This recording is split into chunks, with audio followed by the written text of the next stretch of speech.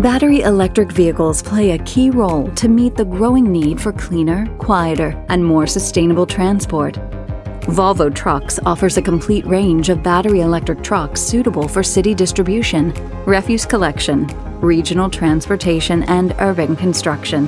Our battery electric trucks can be charged via either fast or overnight charging, using the same standards as passenger cars.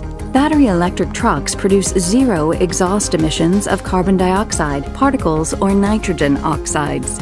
Their full environmental potential is reached if powered by renewable electricity. Thanks to low noise and zero exhaust emissions, electric vehicles can avoid peak hour congestion by making deliveries in urban areas at night and even indoors. This also contributes to an excellent working environment for drivers. Battery electric vehicles are already here today, contributing to the shift towards sustainable transport.